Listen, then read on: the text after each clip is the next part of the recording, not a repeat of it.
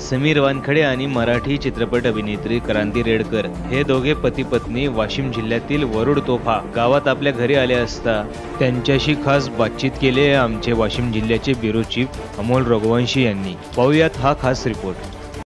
आज आपल्यासोबत क्रांतीजी रेडकर आहे आपण त्यांच्यासोबत दिलखुलास बात करणार आहोत. नमस्ते क्रांती नमस्ते. आपला अभिनेत्री बनण्याचा प्रवास कसा सुरू झाला? मी रुया नाट्यावलयमध्ये होते. रुयाचं नाट्यावलय जे आहे जे ड्रामा ड्रामॅटिक क्लब आहे तो खूप मोठा आहे विशाल आहे. आणि भार म्हणजे जसं आपण म्हणतो की ॲटलिस्ट महाराष्ट्र किंवा ऑल इंडिया कॉम्पिटिशन जेव्हा होतात तेव्हा टॉप थ्री कॉलेजेसमध्ये ह्या ड्रामॅटिक्स क्लबचं नाव आहे.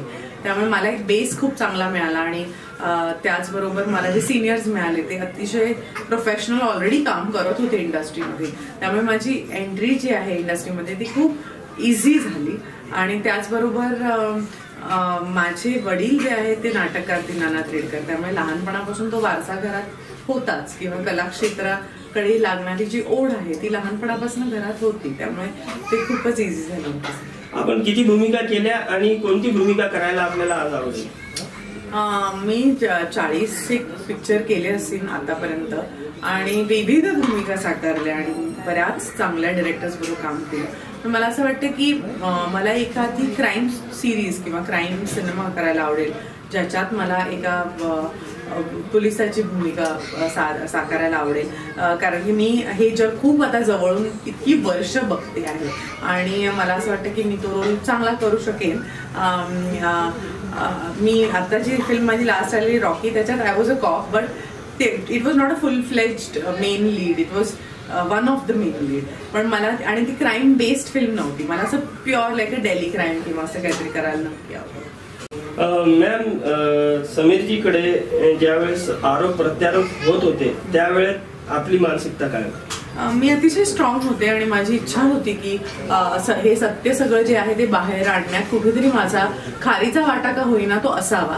कारण की ज्या माणसाला मी आज इतकी वर्ष ओळखते ज्या ज्या माणसावर मी संसार कर केला इतकी वर्ष ज्या माणसाला मी लहानपणापासून ओळखते आहे माझ्या वर्गात होता हा त्या जो जो माणूस एक रुपया कधी घेत नाही भले आम्ही भुके मेलो तरी चालेल त्या माणसाबद्दल जेव्हा क्रिमिनल्स येऊन असं काय काय बोलतात तेव्हा अतिशय वाईट वाटतं कारण की तुमची पातळीच नाही आहे त्याला काही बोलायची ना.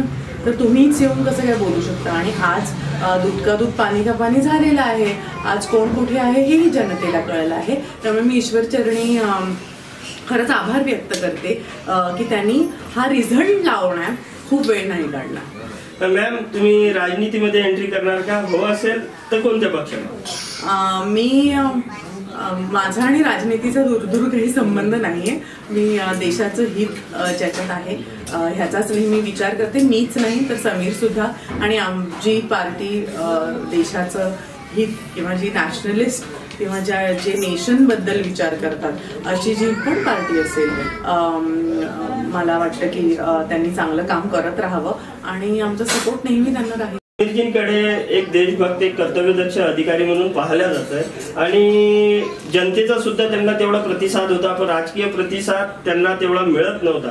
त्यावेळेला आपल्याला कसं वाटलं आणि आपण कसं फेस केलं? मला असं वाटतं की आमच्यासाठी सगळ्यात मोठी पोचपावती होती की सगळे एवढे प्रेस कॉन्फरन्स होऊन सुद्धा. त्या दरम्यान सुद्धा आम्ही पब्लिकमध्ये गेलो तरीही लोक आम्हाला येऊन सांगायची तुम्ही फाईट करत राहा. आम्हाला सत्य काय ते माहिती आहे? तुम्ही अजिबात काही खुलासा देण्याची गरज नाहीये. हम जनता है हमको सब पता है. आणि जेव्हा लहान लहान मुलांना घेऊन आई वडील यायचे मॉल बिलमध्ये आणि सांगायचे की मैं चाहता हूँ मेरा बेटा आपके जैसा बने. ह्याच्यापेक्षा अजून मोठी पोचपावती काय असू शकते? So we are very happy की जनतेने आमची साथ दिली. कारण की कसं असतं की जनता जी आहे तो शेवटी तुमचा आरसा असतो.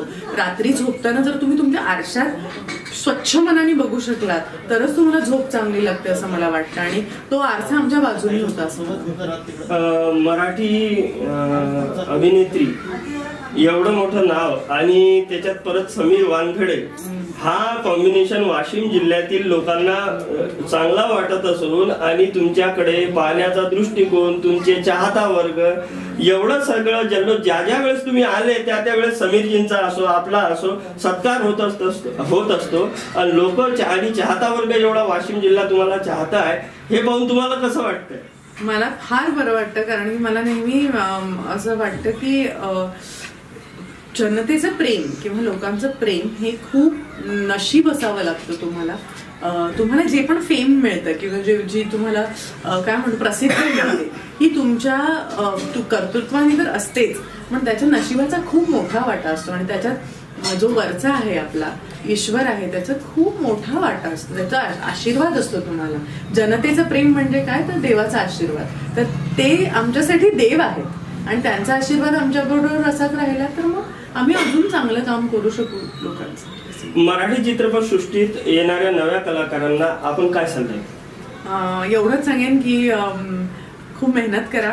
लाईफ इज नॉट इझी इथे फेलियर खूप होतं खूप डिप्रेशन येतं खूप काम नाही मिळालं की असं वाटतं अरे देवा आता आपलं काय होणार? पण असं नाही आहे तुम्ही मेहनत करत राहिलात. बी कन्सिस्टंट ऑडिशन्स द्या. चांगल्या लोकांना भेटा चांगली कामं करायचा प्रयत्न करा अनुभव गोळा करा चांगलं कॉन्टेंट बघा शिका आणि स्वतःला सारखं क- कलात्मक पद्धतीने समृद्ध करायचा प्रयत्न करा. आणि विजय तुमचाच होईल. थँक्यू